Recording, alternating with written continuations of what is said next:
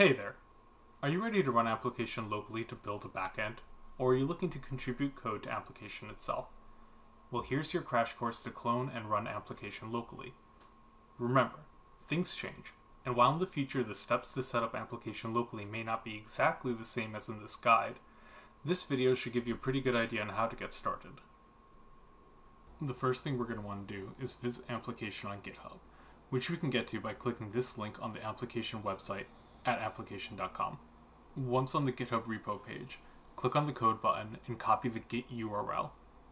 Now, open up your terminal and clone the repository with the command git clone and the git URL.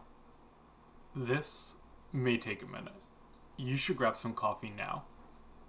With Amplication cloned locally on your machine, you can open it up with the code editor of your choice. I'll use VS Code. Inside of the root directory is the README file, and inside of that is the Getting Started with Local Development Guide.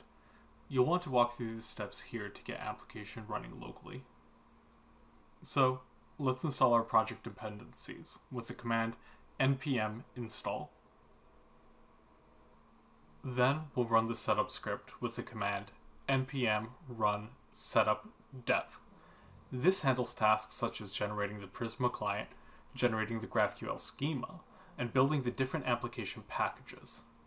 Please note that this command can take some time to run as well, and if it fails the first time, try running the command again. The next step will require Docker. If you don't have it installed, visit docker.com and download the appropriate Docker application for your OS. The download button should automatically provide a download for your OS. Since I'm running Windows, you'll see a Windows icon in this video. With Docker installed, run the command npm run docker dev. This sets up some of the infrastructure dependencies of Amplication, like Postgres and Kafka. Now, if you check the Docker desktop client, you can see the different containers up and running. Our penultimate step will be to run the database migrations. And now for the moment you've been waiting for running Amplication itself. Amplication is actually broken into a few different packages, and the two packages that we're going to be running here are the Amplication client and the Amplication server. Here I have two terminals open, spinning up both applications. After a little bit, Amplication will be available in the browser at localhost 3001. You'll want to create a local account, but since I already have one, I'll just sign in with that. And there you have it. You're signed into Amplication running locally on your machine.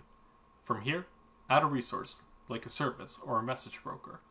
Build your amazing backend experiences. Good luck.